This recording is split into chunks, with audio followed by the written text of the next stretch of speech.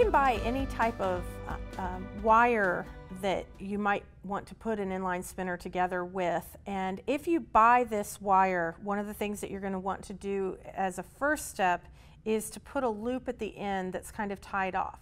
In these kits that we have available in 4-H uh, that we have partnered with Project Fish out of Michigan to, to acquire, what we have found is that having this first step already done is uh, one step closer to having an inline spinner that's complete. It also allows for the parts and pieces not to slide off. So I encourage uh, you to pre-prepare these particular pieces, especially for our novice, uh, our novice 4-H sport fisher persons. In the wire itself, um, making sure that you have some sort of clipping tool. Um, this is why we have to have those safety glasses because if we are clipping them, the metal will uh, potentially go flying off in a direction that we may not be aware of. And uh, so making sure that we're protecting ourselves is very important. You may find that you're using a pair of pliers that has a built-in area in which something might, the metal might be clipped. Either one of these is perfectly fine uh, to use. You may want to look at smaller um, pliers that will work with youth hands. I tend to have very small hands and so this particular plier set that I have and you'll notice that at the very tip of it it has um, kind of a needle uh, needle nose piece to it um, that comes down and will help grip as we're bending um, parts of our wires. So those are some of those implements that you might want to consider having. What you have on hand, you can use it. It, it won't be a problem, um, but just giving a few tips and tricks. Now the order in which you put your inline spinner together is one that is going to be up to the youth. I'm going to suggest an order here, but please don't feel like you have to do it this way. There are lots of people who fish who also may say, hey, you shouldn't use a blue bead, you should use a red bead, an orange bead, a purple bead, or a different sized bead than the ones that I'm demonstrating here. And so um, while we're going to put it together with a blue bead, please know that you can use any size bead that you want and um, depending on the type of fish and what they might be attracted to is the color that you're going to decide on. Let me slide those out of the way. The order, the interesting thing to think about with this order is that the wire with the circle on it at this end, this is where you're going to be hooking it onto and tying their knot in with your monofilament. The um, very end of it that you're sliding things into is actually where the hook is going to be. So that's going to be the bottom of, um, of our inline spinner. So as we're putting it on, it might be, it might be considered sort of upside down. So thinking about it in those ways. After you've put it together, if it's something that you've figured out that your blade is backwards and won't go through the water quickly enough, uh, you can always take it apart and try again. This is something that it may not be easy the first time, but by the third or fourth time that you make your own inline spinner, it will be a much easier product to create. So as we take a look at this, um, we have lots of beads here. We have two small beads, a large plastic blue bead, and then we also have um, two large metal beads. We have what's known as a clevis, that's sort of a hor horseshoe shaped piece um, that our blade is actually going to dangle from. And uh, then we also have our other parts and pieces that we're going to put together, including our hook, which is our last stop. So the first thing I'm going to do is I'm going to pick up the bead, and this actually is very easy for our youth to do. I find that our um, they have smaller fingers and are much more accustomed to stringing beads and, and doing these types of activities. So I'm going to put a small bead, and then I'm going to put a, my plastic bead, and then I'm going to put another small bead. Once again, this is just a template to work from. It's not a requirement. And I'm very sorry if you can't see this very well because it is such a small bead, but I'm just sliding those onto, uh, through the hole and onto um, my line. I'm now going to add a large bead. As I add my large bead, that should go in pretty, go through pretty easily.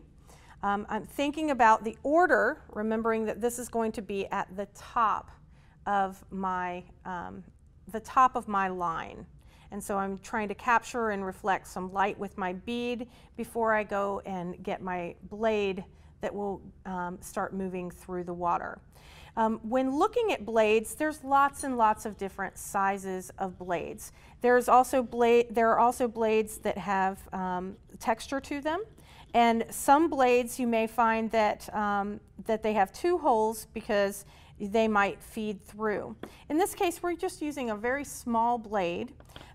But in order to, um, to attach the blade, what we're going to do is we're going to have to put it the blade through the clevis. Remember that's sort of a horseshoe shape that has, um, that has holes that it's going to go on our line. So I'm going to attach that on there and then I have to think about which way is this going to run through the water the best. Um, remembering that this would cup the water and this side might it might slide over the water. So depending on the noise that you're trying to make and the direction that you might want to put that on. Once you have that in place, this is actually one of the more difficult steps for some of our youth. And amazingly, I slid that on pretty quickly, um, but it's going to slide on so that that blade is dangling down. Once I have the blade on, I might want to put on another bead. And then I'm going to cap this piece off with that.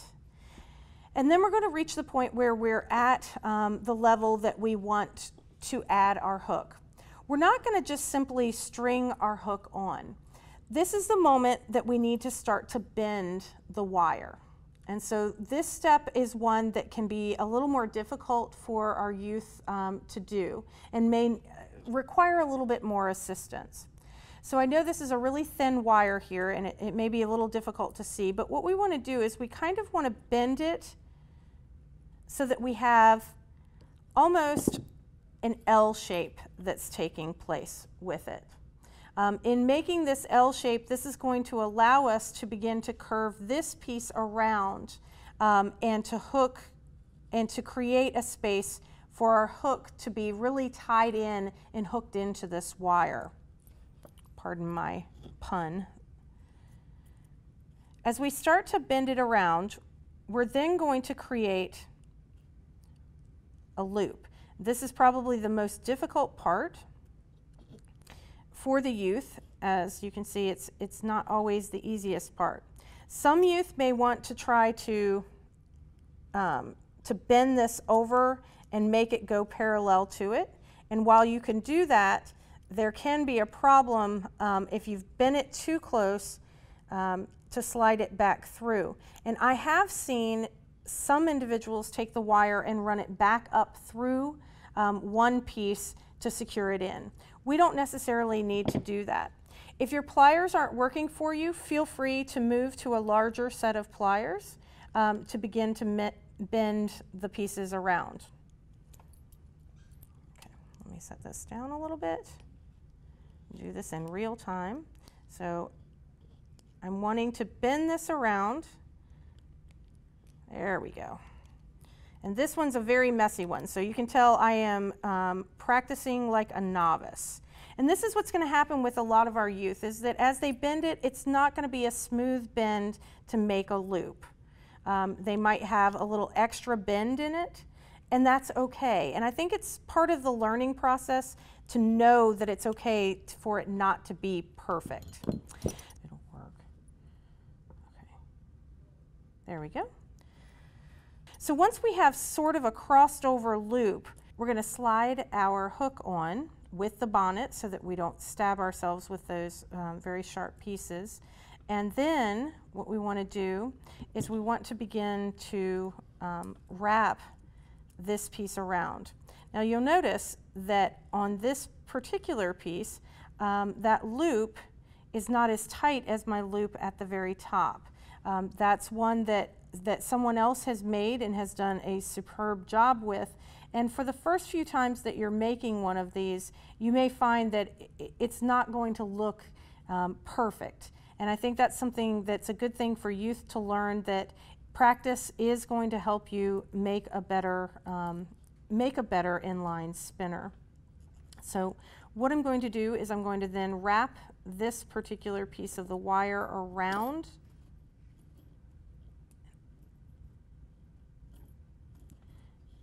being careful not to pull the hook out of the bonnet. If you do that, you will stab yourself and hook yourself. Um, we want to save the hooks for the, the fish. Going to spin this around.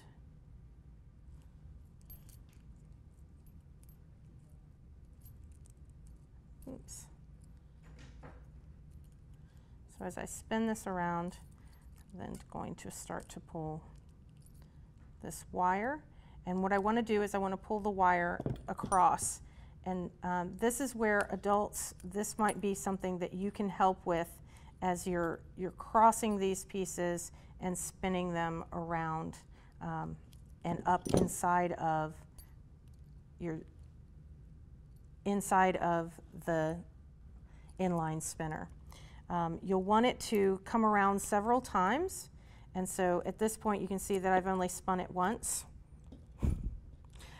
You can see that I've only spun it once and I also spun my bonnet off and that's why it's very important um, to kind of keep an eye on, on those parts and pieces as you're putting it together.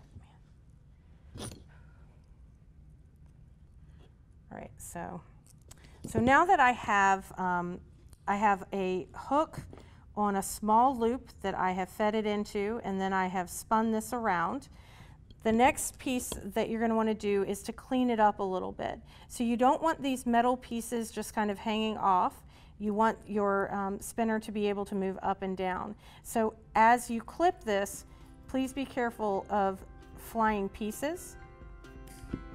Um, and so you'll have small pieces of metal that will clip off. This is a really basic inline spinner um, that a youth can be very proud of making, and apparently an adult can be very proud of making it as well.